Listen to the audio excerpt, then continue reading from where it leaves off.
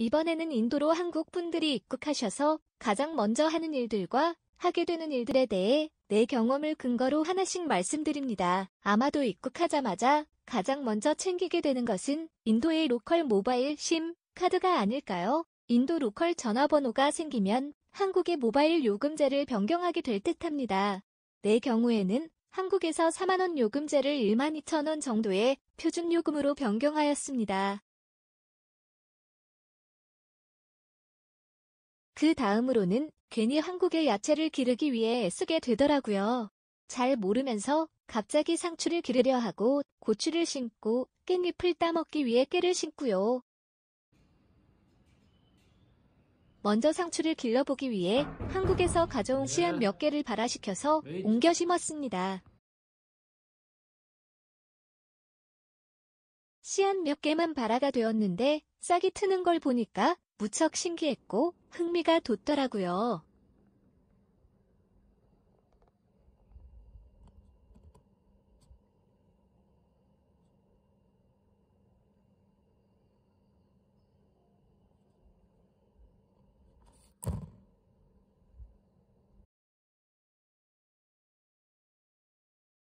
발화되어 싹이 튼 씨앗을 옮겨 심었고 그 싹이 조금씩 자라나는 것을 보니 왠지 지겨운 인도 생활을 조금은 더 즐겁고 재미나게 해주는 듯할 것 같은 생각이 들었습니다. 아무래도 인도 생활은 힘들 수밖에 없으니 자기만의 재미거리를 찾는 것도 한 방법이라 여겨봅니다. 그 다음으로 생각되는 부분이 먹는 것이 아닐까요? 아무래도 식재료부터 다른 인도의 환경이 한국 분들을 더 힘들게 할 듯합니다. 어찌됐든 먹기 위해 산다는 말이 있듯이 먹거리를 챙기는 것이 쉽지만은 않을 겁니다. 가끔씩 주변에 있는 한국 식당들의 식사를 주문해서 먹기도 하지만 비싼 값에 대충 한국 식단을 만들기 위해 비슷한 식재료들을 조달하여 만들어 먹지만 아무래도 만족스럽지는 못하게 됩니다. 그래서 대부분 한국 식단을 만들기 위해 가정부를 교육시켜서 대충이라도 비슷한 식사를 할 수 있게 합니다. 라면 끓이는 법도 가르치고 국이나 찌개를 끓일 수 있게 함께 만들어 보기도 합니다. 어찌됐든 대충 맞춰서 살게 되는데 힘들지만 그럭저럭 적응하면 살아가게 되더라고요.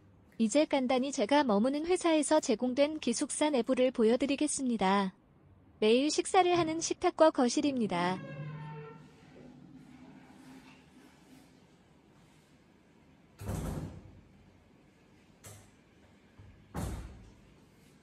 Thank you 잘 먹었어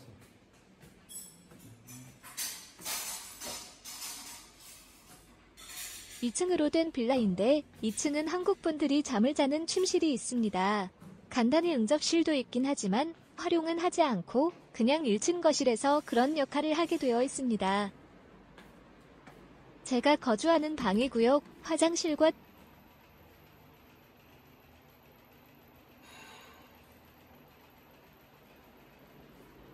침대,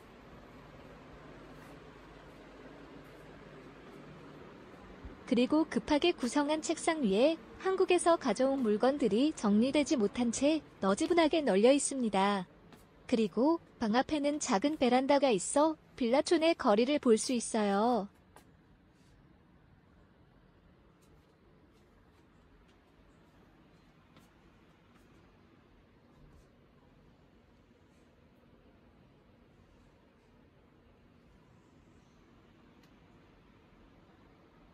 아무래도 인도의 현재 상황과 더불어 건강이나 위생과 관련한 부분은 신경을 많이 쓰게 되더라고요. 개인 위생이 상당히 중요해졌으니깐요. 더군다나 개미나 도마뱀 등이 함께하고 있어서 특히 개미는 사람을 물기도 하니 내 경우에는 최대한 방충에 애쓰는 편입니다.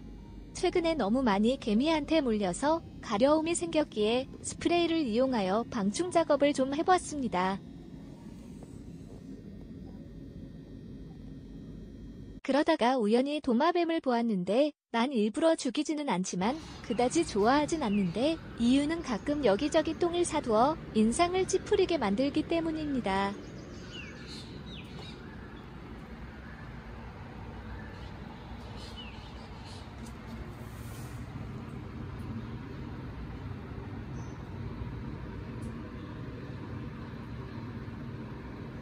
인도가 아직까지는 lockdown 중이라 필요한 생활용품이나 간단한 것들조차 구매하기 힘듭니다. 그나마 아마존 인디아를 통해 인도 올 때 준비 못했던 것들을 보충해 봅니다. 인도는 역시 티가 좋죠? 예전에 즐겼던 인도 녹차나 홍차를 마셔보려고 마침 열린 슈퍼마켓으로 간다는 가정부에게 녹차를 사오라고 주문했었습니다. 이번에 구한 녹차는 가정부가 너무 넘겨짚듯이 립톤에서 나온 레몬향 녹차를 사왔는데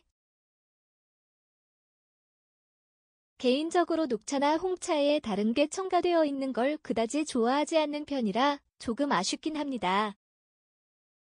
다음에는 아쌈티나 다르질링티 종류를 구입해야겠습니다.